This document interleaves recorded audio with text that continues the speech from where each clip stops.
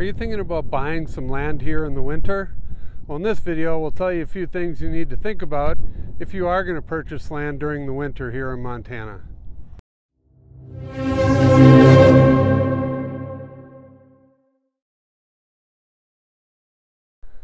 Alright, so I climbed all the way up this mountain to give you a better view of Montana. So the least you can do is subscribe to our channel. And when you do, don't forget to hit the little bell and you'll be notified every time we make a new video about Montana. So one of the first things you need to think about here in Montana in the wintertime, if you're looking at land, is if you can even get to it. I came up to look at this piece of property and it's not even plowed. I was just able to get off the road and get to this point. So you got to walk about a half mile to even get to this lot because there's really no reason to plow it right now. And so a lot of properties that you may be looking at could be in this same situation.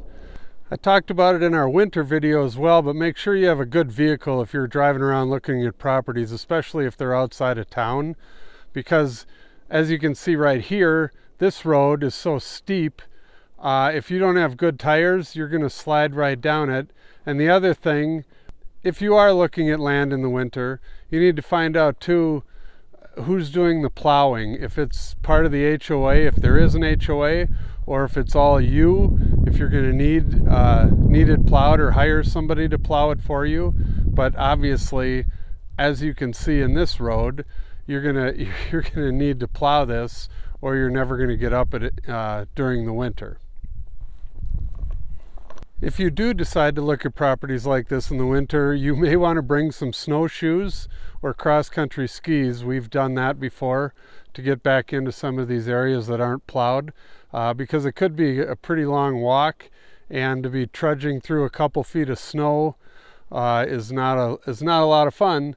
Um, so yeah, keep that in mind if you're looking around out here in the winter. So if this spot looks familiar, it's because this is the exact place I did the video last fall uh, about buying land in Montana and I just wanted to show you what it's like in the winter around here. As you can see the biggest difference is all the snow. So one of the things that comes up uh, if you're looking at land in the winter with snow on the ground is finding the property pins. That's obviously a bigger challenge and I would strongly suggest getting a surveyor involved or somebody with a metal detector be able to find the pins uh, with all this snow. Another thing is I know that I was here in the fall, so I know nothing's under the snow, but you may want to uh, beware of what you find under the snow. Obviously, you don't know if there's a bunch of garbage back there that's covered by the snow right now. Uh, you don't know what's under the snow.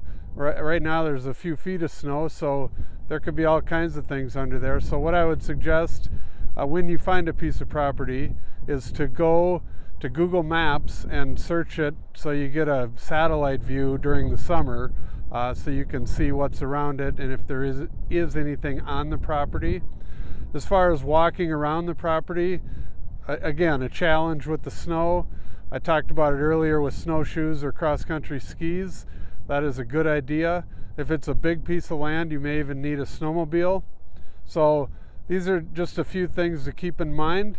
Another thing to consider also is just how easy it is to get in and out of the property during the winter.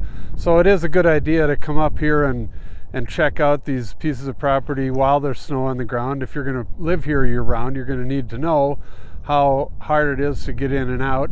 Um, like I showed earlier, there can be some very difficult properties to access. This is fairly level, but again, something to think about if you're here in the winter. So if you're traveling here from out of state to look at properties during the winter, uh, if, especially if they're off the grid properties, more than likely they're not going to be plowed and you're going to need a, a way to get back to them if you want to tour them this time of year. So make sure you contact myself or the agent that has those properties to see if you can even get to them this time of year. Uh, but Montana is great in the winter. We have skiing, we have all the other winter sports. So if you enjoy winter activities, it's not a bad time to look at properties. It just takes a little extra work. Thank you for watching our video. Please call, text, or email for more information. And don't forget to watch our other videos about Montana.